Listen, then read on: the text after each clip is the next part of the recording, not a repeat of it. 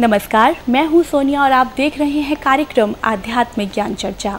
तो आइए शुरुआत करते हैं कार्यक्रम की और जानते हैं विचार जगत गुरु तत्वदर्शी संत रामपाल जी महाराज, बनाम परम पूज्य संत महामंडलेश्वर स्वामी ज्ञानानंद जी के विचार। महाराज जी, ये भी आपसे जानना चाहेंगे कि समाधि अभ्यास, यानी कि मेडिटेशन राम, हरे कृष्ण हरिओम आदि से मोक्ष संभव है या नहीं? परमात्मा का कोई भी नाम है राम कहें कृष्ण कहें ओम कहें कोई भी नाम है वो निश्चित रूप से सक्षम है।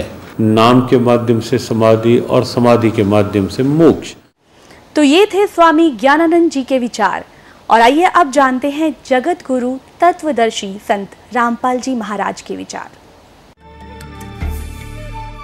कर जोरूं विनती करूँ दरूं चरण पर शीश। गुरु जी राम देवानंद जी महाराज ने दियो नाम बख्शीश। दंडवतम गोविंद गुरु, बंधु अविजन सोए। पहले भये प्रणाम तिन नमो जो आगे पुणात्माओं अब जो हरे राम, हरे कृष्ण, सीताराम, राधे श्याम, राधे राधे, ये नाम जाप करते हैं, ये गीता जी के विरुद्ध है। शास्त्र विधि को त्याग कर ये मनमाना आचरण है, ये यूजलेस है। पुण्यात्माओं आध्यात्मिक ज्ञान को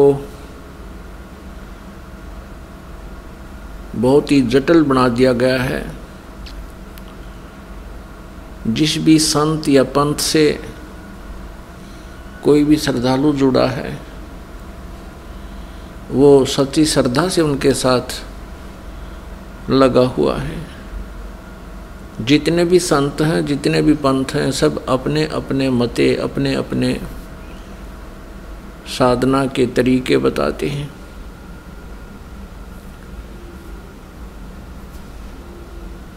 श्रीमद् भगवत गीता अध्याय नंबर 16 के श्लोक नंबर 23 में कहा है कि शास्त्र विधि को त्याग कर जो मनमाना आचरण करते हैं,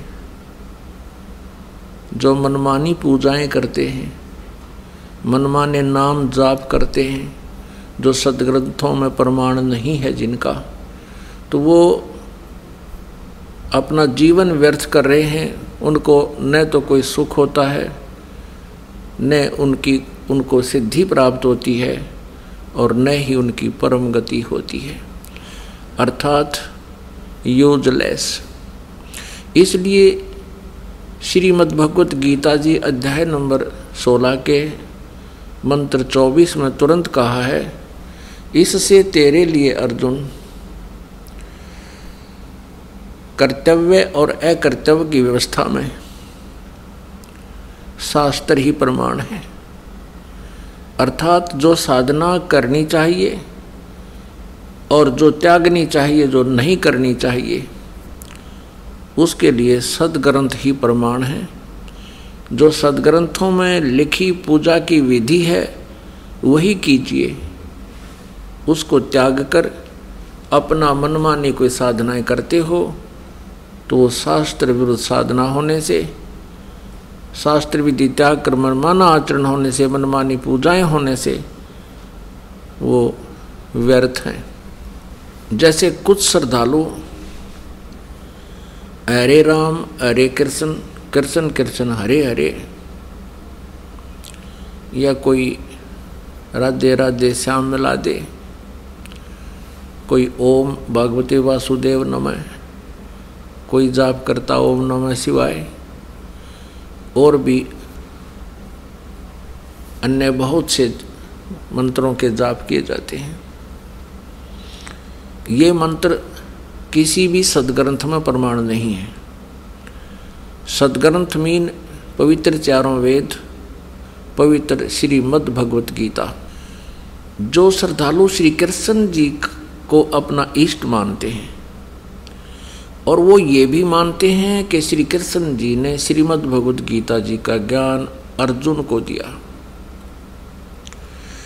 और इस सदग्रंथ को वो सर्वधार्य मानते हैं। और कुछ एक संतजन, कुछ महाराज जी गीता मनीषी लिखते हैं अपने पीछे, महामंडलेश्वर। और वो जाप करते हैं, हरे राम हरे कृष्ण कृष्ण कृष्ण, हरे हरे, राधे राधे। तो इससे सिद्ध है कि वो केवल लिखे हुए हैं गीता मनीषी उन्होंने गीता जी के बारे में कह कह का भी ज्ञान नहीं है। किसी सदग्रंथ के मंत्रों को, श्लोकों को कंठस्थ याद कर लेने मात्र से वो उस सदग्रंथ का ज्ञाता नहीं हो जाता।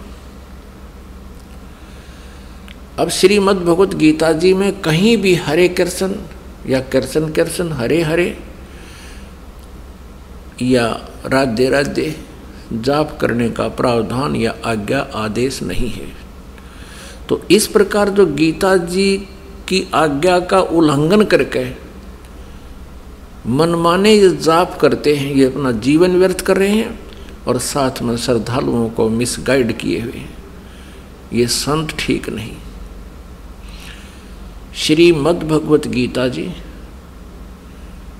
श्री कृष्ण जी में प्रवेश करके ब्रह्म ने बोला, श्री कृष्ण जी ने गीता जी को नहीं बोला। श्री कृष्ण जी की आत्मा को तो पता नहीं मैंने श्रीमद् भगवत गीता में क्या कहा था। इसका थोड़ा सा प्रमाण देते हैं, फिर आगे चलते हैं। जिस समय महाभारत का युद्ध समाप्त हुआ, कौरवों का नाश हो गया और पांडवों को राज्य प्राप्त हुआ। तो श्री कृष्ण जी ने युधिष्ठिर जी को राजगद्दी पर बैठा दिया। अर्जुन ने कहा, भगवान, आप द्वारका जाने वाले हो। हमें कुछ उपदेश देकर जाओ क्योंकि आप हमारे धार्मिक गुरु हैं। क्योंकि गीता अध्याय नंबर दो के श्लोक नंबर सात में, अर्जुन कह रहा कि आप मेरे गुरु हो, मैं आपका शिष्य हूँ। और मुझे आप ज्ञान दीजिए, मैं आपकी शरण हूँ। तो श्री कृष्ण और अर्जुन दोनों उस सत्संग स्थल के आसपास टहल रहे हैं। और अर्जुन श्री कृष्ण जी से प्रश्न करते हैं कि भगवान, आज मुझे वही गीता जी का ज्ञान सुनाना जो आप जी ने महाभारत के युद्ध से पूर्व सुनाया था और मैं उस ज्ञान को भूल गया अब श्री कृष्ण जी कहते हैं कि अर्जुन तो बड़ा श्रद्धाहीन है, तेरी बुद्धि अच्छी नहीं है और तूने उस ज्ञान को याद क्यों नहीं रखा? और स्वयं श्री कृष्ण जी कहते हैं अब मुझे उसका पूरा पूरा सिमरण होना असंभव है। उस समय तो मैंने योग युक्त होकर उस ज्ञान को बोला था, परमात्म ज्ञान को। विचार करनी बात है पुण्यात्माओं कि जब श्री कृष्ण जी युद्ध के भयंकर समय में योग युक्त हो सकते हैं तो अब पीसफुल शांति समय में योग युक्त होना और आसान है। वास्तविकता ये है कि श्री कृष्ण जी को पता ही नहीं कि उसने क्या बोला था गीता जी में। श्री कृष्ण जी में यो काल प्रवेश कर गया, जो 21 ब्रह्मांड का स्वामी है, जो श्रीमद भगवत गीता अध्याय नंबर 11 के श्लोक नंबर 32 में कह रहा है कि मैं काल हूँ और सबको खाने के लिए आया हूँ। ये काल कौन है? ये श्री ब्रह्मा जी, श्री विष्णु जी, श्री शिव जी के पिताजी हैं। अब आपको जो प्रसंग है, वहाँ पर आते हैं कि महाभारत में प्रमाण है, श्री कृष्ण जी को पता ही नहीं, गीता में के बोला था। ये देखिएगा, संक्षिप्त महाभारत गीता प्रेस गोरखपुर से प्रकाशित है। संक्षिप्त महाभारत द्वितीय खंड और संपादक तथा संशोधक हैं जय दयाल गोविंद का। गीता प्रेस गोरखपुर से प्रकाशित है। प्रकाशक एवं मुद्रक हैं गीता प्रेस गोरखपुर गोविंद भवन कार्यालय, कोलकाता का संस्थान। ये देखिएगा इसके छः सौ सड़सठ पृष्ठ पे। श्री कृष्ण का अर्जुन से सिद्ध महर्षि और कश्यप का संवाद। यहाँ देखिएगा। जन्मे जय ने पूछा ब्रह्मन शत्रुओं का नाश हो जाने के बाद जब महात्मा श्री कृष्ण और अर्जुन सभा में बैठकर वार्तालाप कर रहे थे, उसमें उनमें क्या क्या बातचीत हुई? वैश्वपायन जी ने कहा, राजन श्री कृष्ण के सहित अर्जुन ने जब अपने राज्य पर पूरा अधिकार प्राप्त हो गया तो वे दिव्य सभा में आनंद के साथ रहने लगे। एक दिन सब जनों से घिरे हुए वे दोनों मित्र स्वेच्छा से घूमते घूमते सभा मंडप के ऐसे भाग में पहुँचे जो स्वर्ग के समान सुंदर था। पांडुनंदन, अर्जुन श्री कृष्ण के साथ रहकर बहुत प्रसन्न थे। उन्होंने एक बार उस रमणीय सभा की ओर दृष्टि डालकर भगवान से यह वचन कहा, देवकी नंदन, जब युद्ध का अवसर उपस्थित था उसमें मुझे आपके महात्म का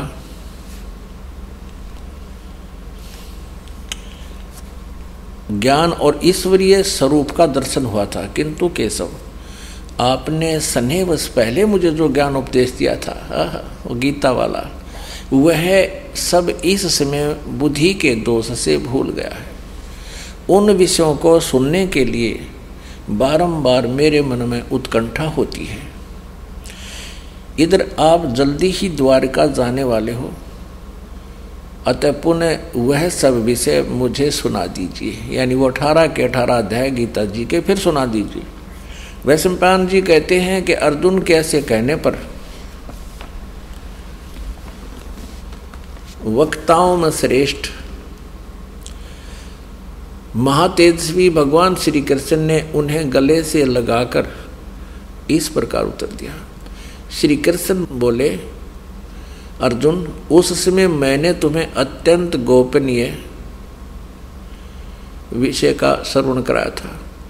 अपने स्वरूप भूत धर्म सनातन पुरुषोत्तम तत्व का परिचय दिया था और नित लोकों का भी वर्णन किया था। किंतु तुमने जो अपनी नासमझी के कारण उस उपदेश को याद नहीं रखा, यह जानकर मुझे बड़ा खेद हुआ है।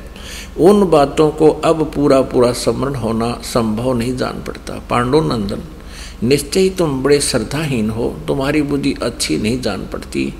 अब मेरे लिए उस उपदेश को ज्यो का त्यों दोहरा देना कठिन है, क्योंकि उस समय योग युक्त होकर मैंने परमात्म तत्व का वर्णन किया था। पुण्यात्माओं, ये स्पष्ट हो गया। श्री कृष्ण जी ने गीता जी के विषय में कह का नहीं पता।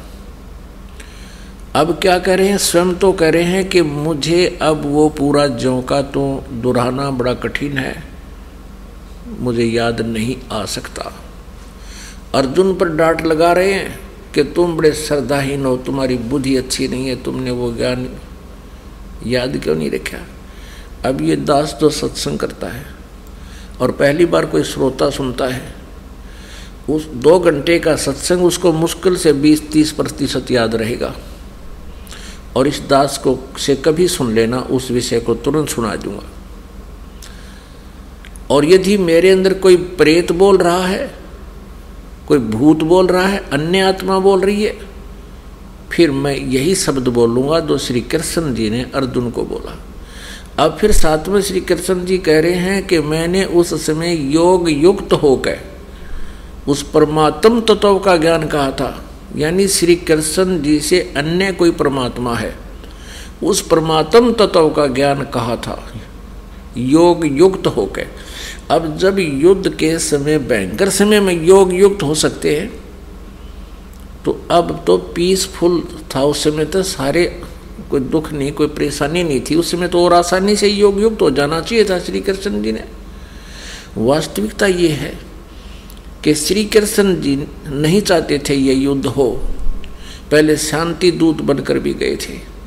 और तीन बार पांडव और कौरों को समझाने की चेष्टा की थी कि युद्ध मत करो, विनाश हो जाएगा और ये सब संपत्ति यहीं रह जाएगी, तुम मृत्यु को प्राप्त हो जाओगे। लेकिन वो नहीं माने थे। अंत में भगवान ने ये भी कह दिया था कि एक तरफ़ मेरी सेना होगी, एक तरफ़ मैं हूँगा और मैं हथियार भी नहीं उठाऊँगा। भगवान ये चाहते थे कि किसी तरह ये पांडव ही मान जाएँ और ये युद्ध ना हो।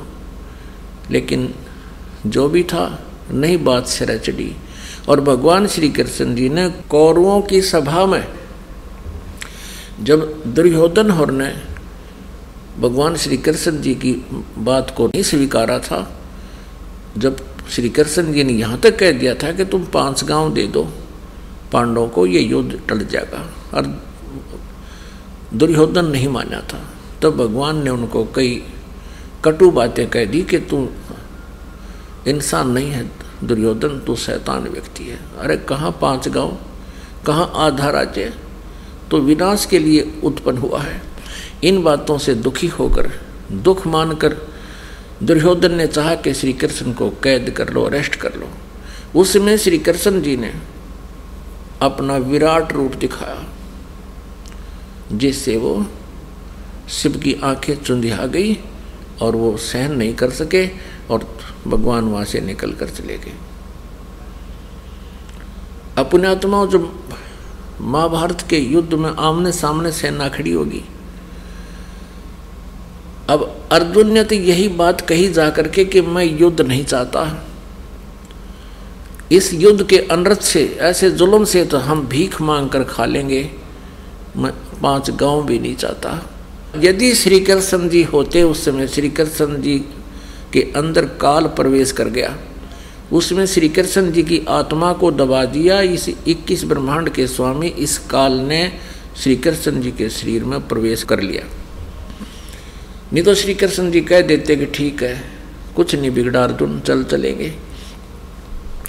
उसी समय वो काल आके श्री कृष्ण जी में प्रवेश कर गया। वो कैसे प्रवेश करता है, ये दिखाते हैं। श्री मद भगवत गीता, अध्याय नंबर सात के श्लोक नंबर चौबीस और पच्चीस में कहा कि मैं कभी किसी के सामने प्रकट नहीं होता। मैं कभी किसी के सामने अपने वास्तविक रूप में प्रकट नहीं होता। और ये बुद्धिहीन व्यक्ति मुझे कृष्ण मान रहे हैं आई एम नोट कृष्ण।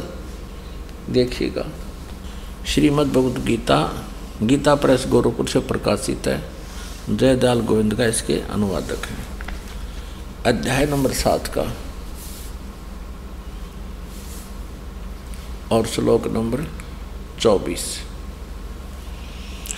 बुद्धिहीन मेरे अनुतम अविनाशी परम भाव को न जानते हुए बुद्धिहीन पुरुष ये व्यक्ति मेरे अनुतम माने घटिया अटल नियम को नहीं जानते मेरे भाव को नहीं जानते कि मैं किसी के सामने नहीं आता। अव्यक्तम माम व्यक्तिम आपनम मन्यते। मुझे अव्यक्त अव्यक्त माने मुझ छुपे हुए को मैं गुप्त रहता हूँ अपनी योग माया से। और ये मुझे व्यक्ति भाव में प्राप्त हुआ मानते हैं, मुझे कृष्ण मान रहे हैं। I am not Krishna. मुझे मनुष्य की भांति जन्म लेकर यानी श्री कृष्ण मान रहे हैं, मैं कृष्ण नहीं हूँ। आगे देखो। पच्चीस में। ये पच्चीस माह है। सात में जाएगा अपनी योग माया से छिपा हुआ मैं सबके प्रत्यक्ष नहीं होता। मैं कभी किसी के सामने नहीं आता। इसलिए यह अज्ञानी जन समुदाय मुझ जन्म रहित अविनाशी परमेश्वर को नहीं जानता। मैं अपनी योग माया से छिपा हुआ हूँ। मैं सबके प्रत्यक्ष नहीं होता। अपुण्य आत्माओं ये काल जो है, इसने जो गीता जी अध्याय नंबर दस और ग्यारह में जो अपना विराट रूप दिखाया है, ये इसका वास्तविक रूप है। और इसने प्रतिज्ञा कर रखी है कि मैं कभी किसी के सामने अपने इस वास्तविक रूप में नहीं आऊँगा। दर्शन नहीं दूँगा। श्रीमद् भगवद गीता अध्याय नंबर ग्यारह के श्लोक सैतालीस अड़तालीस में स्पष्ट किया है कि मेरा ये वास्तविक रूप है अर्जुन, मेरे इस रूप के दर्शन कोई नहीं कर सकता, ना किसी जप से, ना तप से, ना वेदों में वर्णित विधि से, ना किसी यज्ञ से। अर्थात मेरी प्राप्ति नहीं हो सकती। और दूसरी यह है कि तेरे अतिरिक्त, आज जो मैंने तुझे ये दर्शन, ये मेरा वास्तविक रूप दिखा है, तेरे अतिरिक्त इसको पहले कभी किसी ने नहीं देखा और नहीं आगे देखा जा सकता। तो इससे भी सिद्ध है कि श्री कृष्ण जी नहीं बोल रहे, श्री मद भगवत गीता जी का ज्ञान। यदि श्री कृष्ण जी बोल रहे होते तो ये शब्द नहीं कहते कि मैंने तेरे से अतिरिक्त पहले किसी ने मेरा विराट रूप नहीं देखा था। क्योंकि कौरवों की सभा में श्री कृष्ण जी अपना विराट रूप दिखा चुके थे। पुणात्मा समझदार को संकेत ही काफ़ी होता है। अब हम अपने प्रसंग पर आते हैं कि ये काल कैसे बोलता है कैसे प्रवेश होकर बोलता है? ये गीता जी दह नंबर चार के श्लोक नंबर पाँच और नौ में कहता है, अर्जुन तेरे और मेरे बहुत जन्म हो चुके, तू नहीं जानता, मैं जानता हूँ। और मेरे जन्म और कर्म अलौकिक हैं।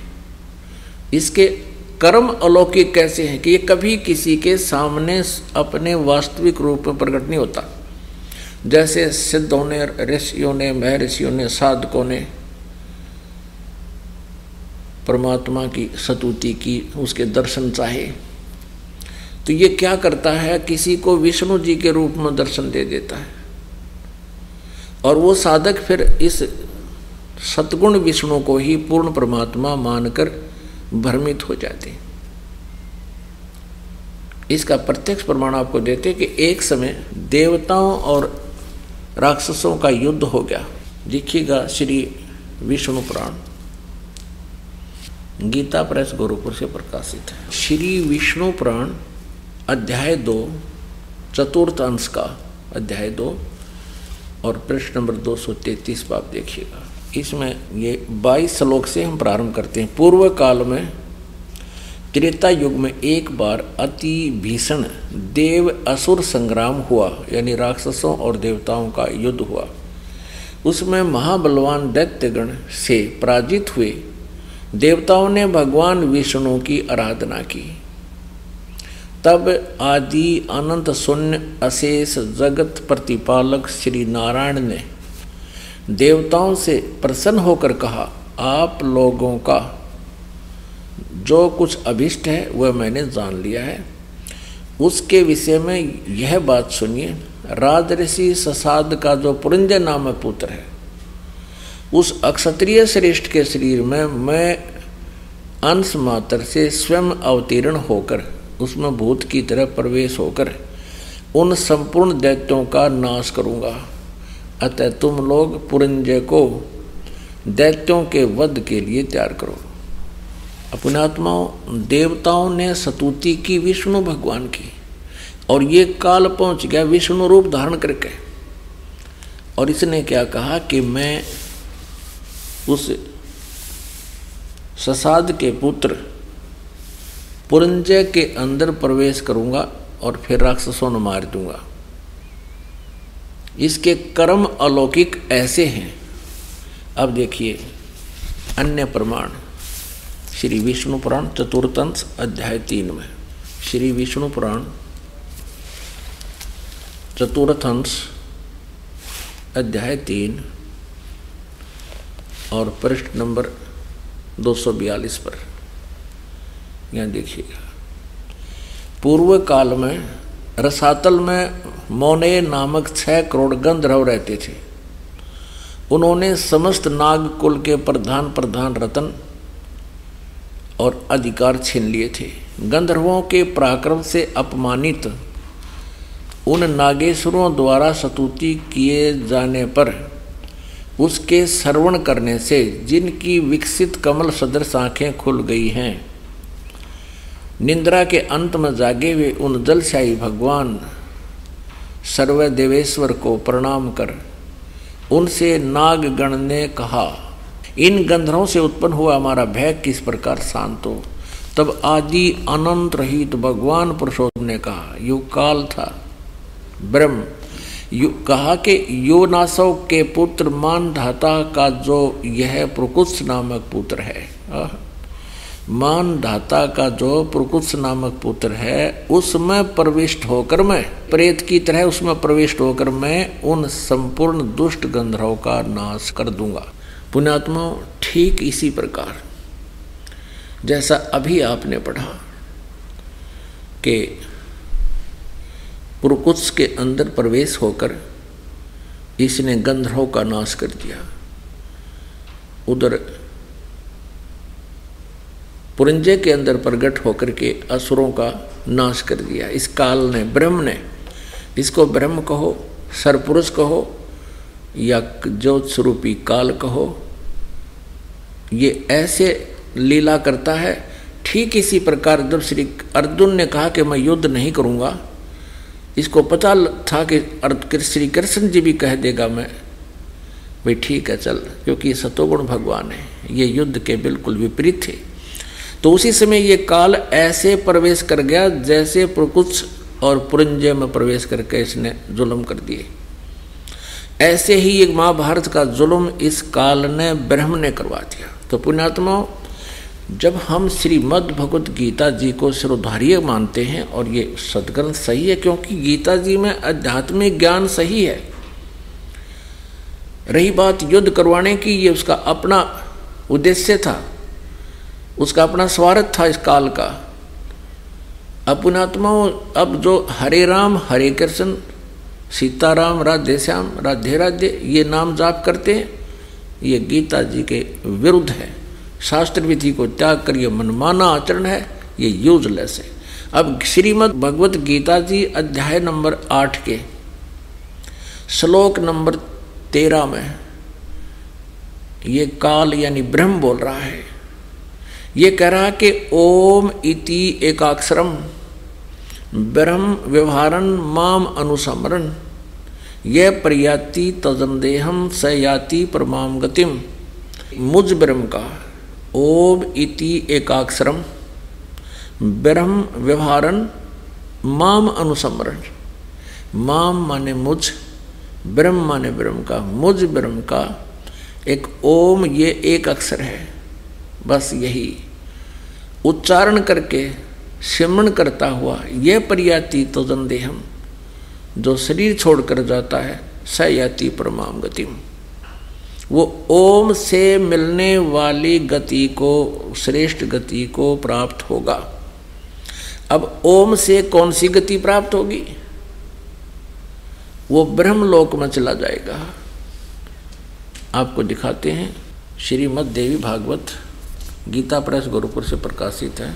संक्षिप्त, श्रीमद देवी भागवत, सचित्र मोटा टाइप केवल हिंदी। संपादक हनुमान प्रसाद पोदार चिमन लाल गोस्वामी। गीता प्रेस गोरखपुर से प्रकाशित है। ये है सातवां सकंद और पाँच सौ बैसठ पृष्ठ पे देवी के द्वारा हिमालय को ज्ञानोपदेश, यानी ब्रह्म स्वरूप का वर्णन। श्री देवी जी कहने लगी, पर्वतराज, उस ब्रह्म का क्या स्वरूप है, यह बतलाया जाता है।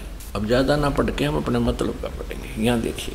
उस एकमात्र परमात्मा को ही जाने दूसरी सब बातों को छोड़ दे। यानी और कोई मंत्र जाप नहीं करना। यही अमृत रूप परमात्मा के पास पहुँचाने वाला पुल है। संसार समुद्र से पार होकर अमृत स्वरूप परमात्मा को प्राप्त कराने का यही सुलभ साधन है। आगे देखो। इस आत्मा का ओम के जप के साथ ध्यान करो। इससे अज्ञान में अंधकार से सर्वथा परे। और संसार समुद्र से उस पार जो ब्रह्म है, उसको पा जाओगे। ओम नाम का जाप करो और ब्रह्म को पाने का उद्देश्य रखो, तुम्हारा कल्याण हो, उसको मिल पा जाओ। वो कहाँ रहता है? पाँच सौ तिरसठ पृष्ठ पर हम पढ़ रहे हैं वह, यह सबका आत्मा ब्रह्म। ब्रह्मलोक रूप दिव्य आकाश में स्थित है। अब ओम का जाप करने वाले कहाँ जाते हैं? ब्रह्मलोक में। ठीक। अब गीता ज्ञानदाता कहता है कि मेरी जो साधना करनी है तो केवल ओम नाम है। नथिंग एल्स राधे राधे, कृष्ण कृष्ण हरे हरे हरे कृष्ण, ये कृष्ण कलम कृष्ण, ये बनावटी और मनमाना आचरण है यूजलेस मंत्र है। इनसे जीवन नष्ट हो जाएगा। अब यहाँ गीता ज्ञान दाता कहता है कि मेरा जाप करना है तो ओम का जाप है। महाराज जी आपसे यहाँ ये भी जानना चाहेंगे कि गीता जी का अध्याय सात, श्लोक अट्ठारह में गीता बोलने वाला भगवान अपनी साधना को अनुत्तम क्यों कह रहा है? गीता के सातवें अध्याय का अठारहवा श्लोक जो है, उसकी आप गहराई में देखेंगे तो एक बड़ी प्रेरणा है। भगवान अठारहवें श्लोक में कहते हैं, उदारा सर्वे वेते। ज्ञानी त्वात्मतम आस्थिता युक्तात्मा मामे वनुत्तमाम गतिम। तो यहाँ जो श्लोक है, भगवान कहते हैं, सभी भक्त मेरे उदार हैं, सभी भक्त अच्छे हैं। ज्ञानी भले ही एक रूप होने के कारण मेरी आत्मा है, मेरे से एक रूप है। लेकिन आगे जो कहा, आस्थिता साही युक्तात्मा माम एवं अनुत्तमाम गतिम, यहाँ जो अनुत्तमाम गतिम में क्योंकि ज्ञानी परमात्मा से एक रूप हो जाता है, जो तू है, सो मैं हूँ। स्वामी राम तीर्थ ने कहा, जो मैं हूँ, सो तू है। न कुछ आरज़ू है, न कुछ जुस्तजू है, एक रूपता। भगवान कहते हैं, वो उस गति को पा लेता है उस स्थिति को पा लेता है, जिसके समान और जिससे श्रेष्ठ और कोई दूसरी गति नहीं होती।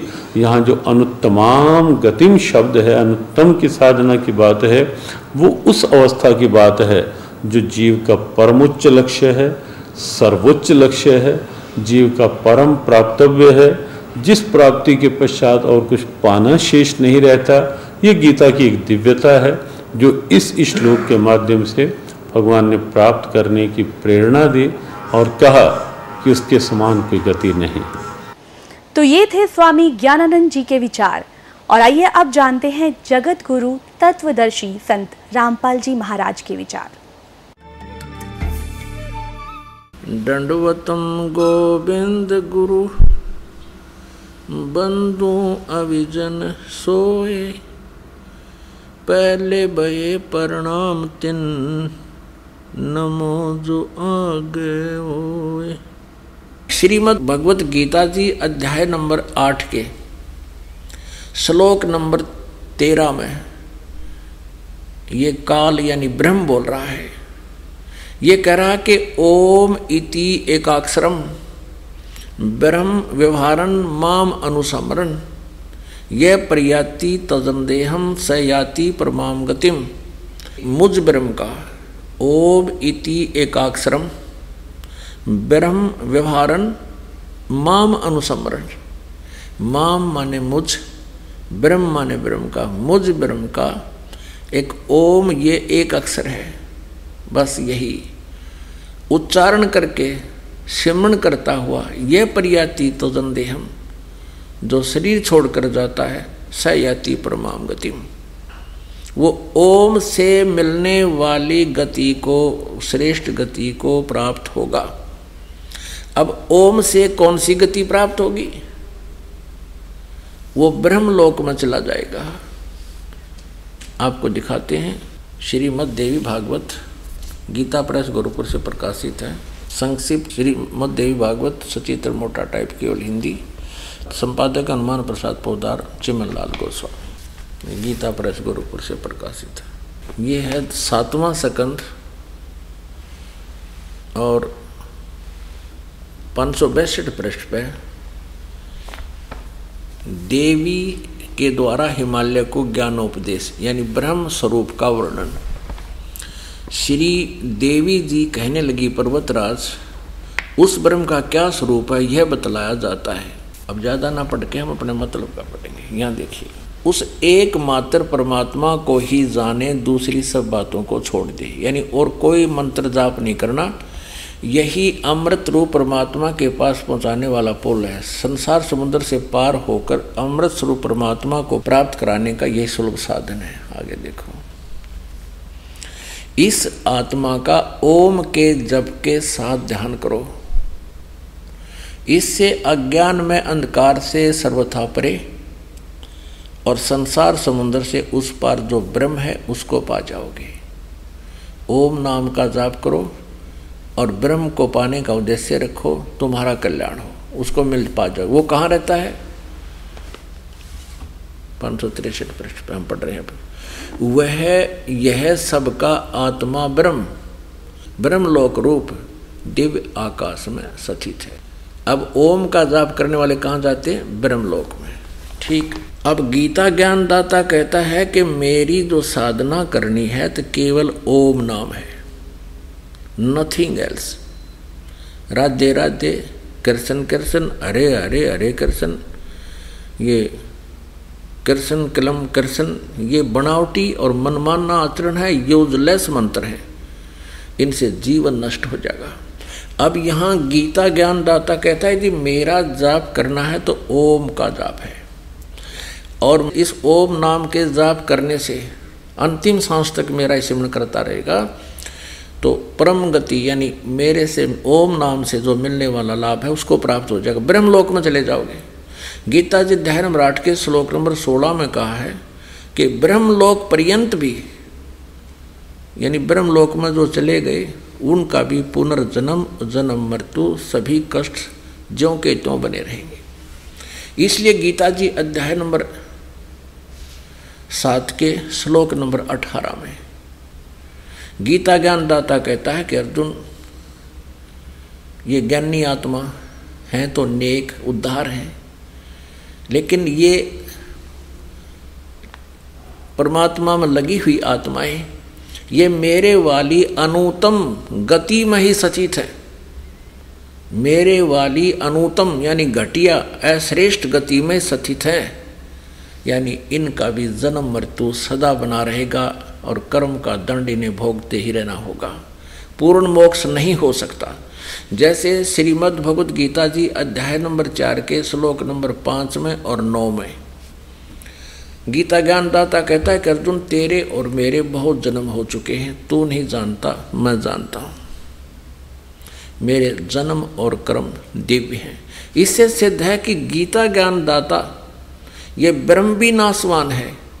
और फिर इसके उपासक तो ऐटोमेटिकल नासवान हो गए, क्योंकि ब्रह्मलोक में जाएँगे, ब्रह्मलोक में गीता जी में स्पष्ट लिखा है कि वहाँ गए हुए भी फिर भी पुनरावर्ती में इसलिए ये कहता है कि मेरी साधना ये पुण्यात्मा कर तो रहे सच्चे मनते लेकिन मेरे वाली घटिया गति में ही ये सचित है। अब इसको घटिया क्यों कहा? अनुतम क्यों कहा? ये अज्ञानी संत नकली ऋषि गुरु कहते हैं कि यहाँ अनुतम का अर्थ है, जिससे उत्तम कोई और ना हो। अरे तेरा गजब भैया इतनी अनर्थ कर डाले इन्होंने। एक छठी कक्षा के बालक तो पूछ लो, विद्यार्थी से। उत्तम माने क्या होता है? श्रेष्ठ। अनुत्तम अश्रेष्ठ और इन्होंने अज्ञानता के कारण इनके अनर्थ कर डाले। यदि यहाँ ये भी प्रसंग हम माने इनकी दंत कथा से, अज्ञान से कि भगवान ये कह रहे हैं कि इससे उत्तम कोई गति नहीं, मेरे से बट उत्तम कोई किसी की गति नहीं, इसलिए अनुत्तम का अर्थ अति उत्तम कहा, नहीं। गीता ज्ञानदाता, अध्याय नंबर अठारह के श्लोक नंबर बैसठ में कहता अर्जुन, तू सर्वभाव से उस परमेश्वर की शरण में जा। उसकी कृपा से ही तू परम शांति को और सनातन परम धाम को प्राप्त होगा। अपनात्माओं। यदि यहाँ अनुत्तम का अर्थ अति उत्तम करें तो वैसे अनर्थ है। और फिर इस आधार से कहें कि भगवान कह रहे हैं कि इससे उत्तम कोई और गति नहीं, वो तो खुद कह रहे हैं कि वो और है गति। और परमात्मा जिसे पूर्ण मोक्ष होगा, जिसे जिसकी गति सर्वे सर्वश्रेष्ठ है। अन्यथा वो अन्य भगवान के विषय में नहीं कहते। अपने आत्मा गीता जी अध्याय नंबर आठ के श्लोक नंबर एक में। अर्जुन ने पूछा कि प्रभु, आपने जो गीता जी अध्याय नंबर सात के श्लोक नंबर उनतीस में कहा है कि मेरे इस ज्ञान को आश्रय करके उस तत्वदर्शी संत की खोज करो, गीता जी अध्याय नंबर चार के श्लोक नंबर चौंतीस में कहा है। तत्वदर्शी संत से वो तत्व ज्ञान सुनो, समझो उस परमात्म तत्व के बारे में वो तत्वदर्शी संत बताएँगे। जिन्होंने वो तत्वदर्शी संत मिल गया, उन्होंने सारे अध्यात्म ज्ञान को समझा और सभी कर्मों से परिचित हुआ और वो तत्ब्रह्म से परिचित हुआ, फिर वो जरा और मरण से मुक्ति के लिए ही, छुटकारे के लिए ही वो साधना, यत्न करता है, प्रयत्न करता है। वो इस संसार की किसी वस्तु की डिमांड नहीं करता। उस तत्ब्रह्म को जान लेता है। तो यहाँ गीता जी अध्याय नंबर आठ के श्लोक नंबर एक में अर्जुन ने पूछा, किम तत्ब्रह्म? वो तत्ब्रह्म क्या है जिसके जानकर फिर कुछ किसी वस्तु को जानना, किसी वस्तु की डिमांड नहीं करता, जरा और मरण से मोक्ष प्राप्ति ही चाहता है? तो वो किम तत्ब्रह्म? अब गीता ज्ञानदाता आठवें अध्याय के तीसरे श्लोक में उत्तर देता है कि वो परम अक्षर ब्रह्म है। वो परम अक्षर ब्रह्म है, वो गीता ज्ञान दाता से अलग है। अब एक सरपुरुष एक अक्षर पुरुष, एक परम अक्षर पुरुष, ये तीन प्रभु हैं। श्रीमद् भगवत गीता, अध्याय नंबर पंद्रह के श्लोक नंबर एक से चार और श्लोक सोलह और सत्रह। में जो विशेष विवरण दिया है, उसको समझने के लिए इस संसार रूपी वर्क्स को आप देखिएगा, चित्र, आसानी से समझ में आएगा फिर। ये संसार रूपी उल्टा लटका हुआ वृक्ष समझो। परमेश्वर ने स्वयं बताया कि अक्सर पुरुष एक पेड़ है और सर पुरुष इसका एक दार समझो, ये काल समझो, काल ब्रह्म समझो, इसको कुछ भी कहो, ये इसके इसी के पर्यायवाची नाम है। सर सरब्रह्म सरब्रह्म अर्थात सरपुरुष काल ब्रह्म इसको ब्रह्म सरपुरुष भी कहते हैं सरपुरुष ये ये तो डार समझो, इस संसार की, और तीनों देवा, रजगुण ब्रह्मा जी, सतगुण विष्णु जी, तमगुण शिव जी, ये तो शाखाएँ हैं, और हम यहाँ पात रूप संसार। अब इस आशय को समझने के लिए अब ये गुप्त कौन है? ये जड़ कौन है? ये परम अक्षर ब्रह्म है। परम अक्षर पुरुष कहो, परम अक्षर ब्रह्म कहो, या पूर्ण ब्रह्म या परमेश्वर कहो, परम अक्षर ब्रह्म कहो। ये गीता जी अध्याय नंबर पंद्रह के श्लोक नंबर सोलह और सत्रह में ये कंसेप्ट बिल्कुल क्लियर है। तीन भगवान हैं। एक तो परम अक्षर ब्रह्म, यानी परम अक्षर पुरुष कहो, परम अक्षर ब्रह्म कहो। ये तो जड़ है पूरे संसार रूपी वृक्ष की, यहीं से सबको उत्पत्ति होती है और यहीं से सबको आहार मिलता है, सबका धारण पोषण यही करता है। फिर तना जो ज़मीन से बाहर दिखता है, उसको अक्सर पुरुष पर ब्रह्म भी कहते हैं, अक्सर पुरुष भी कहते हैं। और उसके फिर एक डार है, वो सर पुरुष है, ये ब्रह्म है, जो गीता बोल रहा है। और तीनों देवा, रजगुण, ब्रह्मा सतगुण विष्णु, उत्तम गुण, शिव जी, ये शाखा हैं और हम पात रूप संसार। तत्वदर्शी संत मिलने के पश्चात इस उलझी हुई गुत्थी को समझकर उसके पश्चात परमेश्वर के उस परम पद की खोज करनी चाहिए। जहाँ जाने के बाद फिर लौटकर कभी संसार में नहीं आते, उनका जन्म मृत्यु कभी नहीं होता। वो है वास्तव में परम गति। जो गीता ज्ञान दाता से कोई और परमेश्वर है और वो संत बताएगा तो पुण्यात्मा, यहाँ गीता ज्ञान दाता इसलिए गीता जी दह नंबर सात के श्लोक नंबर अठारह में, अपनी गति को अनुतमाम अति घटिया कहता है, कति व्यर्थ है, क्योंकि जन्म मृत्यु कहता मेरी भी रहेगी और साधक की भी रहेगी। ब्रह्मलोक में पहुँच जाएगा, मेरे ओम नाम के जापते और ब्रह्मलोक में गए हुए भी प्राणी फिर वापस जन्म मृत्यु में आते हैं।